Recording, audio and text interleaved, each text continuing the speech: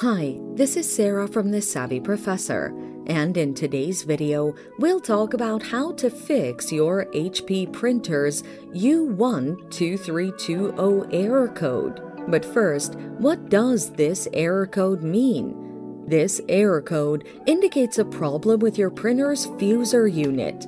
This error code flashes when your fuser's temperature is too high. The following are some of the common causes of this error code. A faulty fuser unit. Now, let's look at the best solutions you can apply to fix this error code. Reset the printer. When your printer is on and idle, disconnect the power cord from the printer. Unplug your printer's power cord from the outlet. Wait 60 seconds and reconnect the power cord to the printer and wall outlet your printer should reset and turn on automatically. Replace the fuser unit.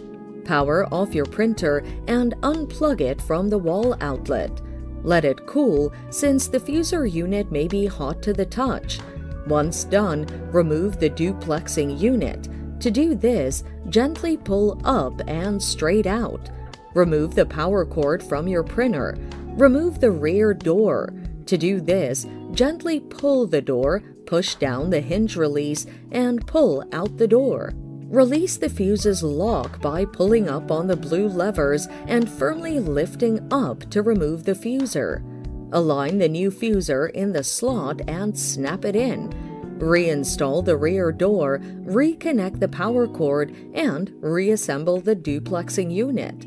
Plug in your printer and test it. And that's it. Thanks for watching. Till next time.